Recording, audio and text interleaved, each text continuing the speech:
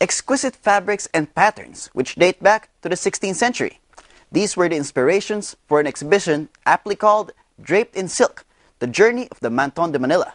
Check this out.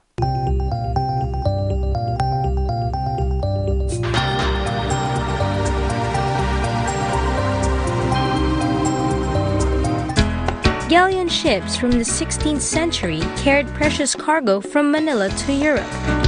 Massive vessels held not only merchandise but also the fragments of a culture, the ties that would connect the East and West.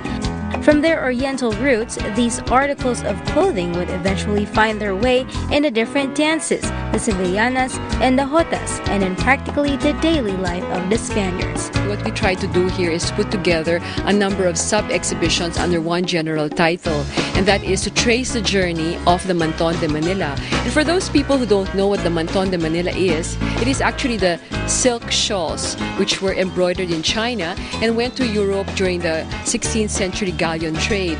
Now, what happened was that when it got to Europe, people actually thought it was the as, um, Manton from Manila, but in reality, it was actually a Manton from China. Fast forward to the present, a number of talented contemporary artists were challenged to come up with works that would highlight the historical significance of the Manton de Manila. Drawing inspiration from the Spanish elements of the Manton, using a disappearing art form, juxtaposing flowers, foliage, and discarded materials, and experimenting with Manton inspired images were just some of the memorable pieces in the exhibition. Planning the works uh, takes longer. It takes longer to assimilate everything, all the concept.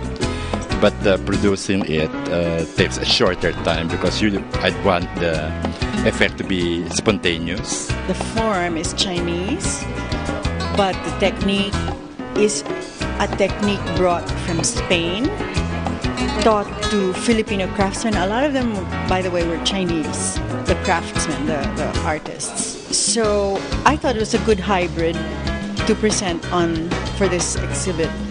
And the, the, the flowers that are painted on it are Manton designs. On a more sort of um, deep level, it really um, was meant to express um, how I see what being a Filipina is all about. We're actually a combination of many cultures, and I think that um, this uniqueness is reflected in in our character in the way that we do things so i think that all of that is represented in in the work that i did. Things come full circle with this work.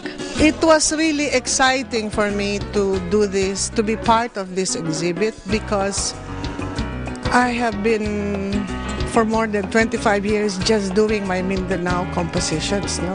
I'm just glad that i was able to do something different and enjoyed it also among the contributors were two equally talented siblings who had different interpretations of the Mantones. One was through an art installation, and the other through a hauntingly beautiful photograph. My work is um, called She Never Did Care About the Little Things. It's my interpretation of the Mantones de Manila. It's um, a sculpture of beaten metal um, with cultivated rust. It also makes use of light, chair, and shadow. I don't like my themes to be so literal.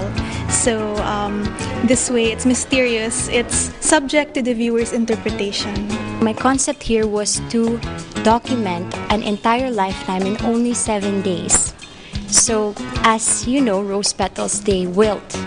So I wore the mask for seven consecutive days, and I documented myself wearing the mask for those seven days, so you can see like the progressive decay of the rose petals. I wanted to pinpoint the lack of our country's historiographical identity.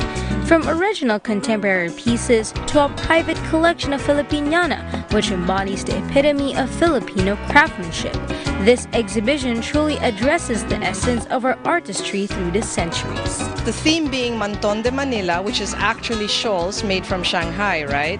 But because of our exposure to that art and because of our exposure to Spanish influences and Chinese influences, the Filipino was able to interpret in his own way and create with his own hands these masterpieces that we all should be proud of. This is a very rich source of inspiration, a very rich source of education as well, especially for students. It's a very rare uh, opportunity that comes along not very often. Try to look closely, very closely, because you will see that the Philippine history and the Filipino person is very complex and very beautiful. Trace the rich legacy of the trade routes. Wrap yourself in the exquisite folds of the Manton de Manila. Get creative and share a piece of history with others.